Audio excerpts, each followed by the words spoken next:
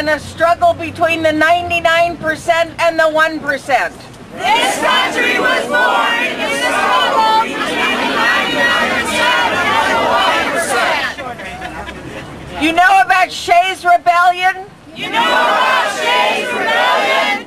The farmers who fought the Revolutionary War? The farmers who fought the Revolutionary War? Who got with the war debt and bailed out the 1%? Who got stuck with the war debt and bailed out the 1%?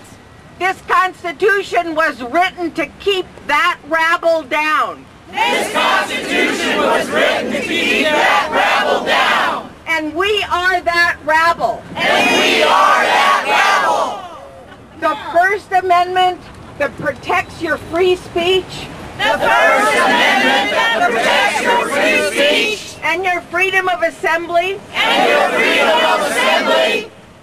Was written because we fought for it. Was written because we fought for it. Not because the Founding Fathers wanted it. Not because the Founding Fathers wanted it. The Supreme Court was created to protect property the and Supreme to protect Court was created to protect. We should not kid ourselves that an amendment to the Constitution will stop that. We should not kid ourselves that an amendment to the Constitution will stop that. After the Civil War, we wrote amendments. After the Civil War, we wrote amendments. We freed the slaves with the 13th Amendment. We freed the slaves with the 13th Amendment. We guaranteed equal protection with the 14th Amendment. We guaranteed equal protection with the 14th Amendment.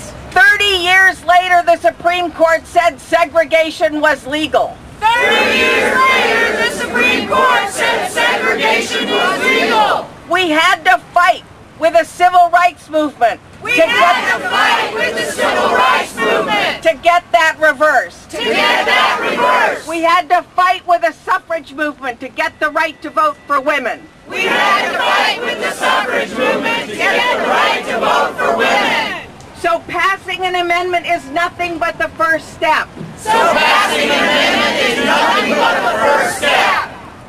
Thomas and Scalia need to resign from this court. Thomas and Scalia need to resign from this court. We need to occupy the courts. We need to occupy the courts. And take back our democracy. And take back our democracy. Occupy the courts. Occupy the courts.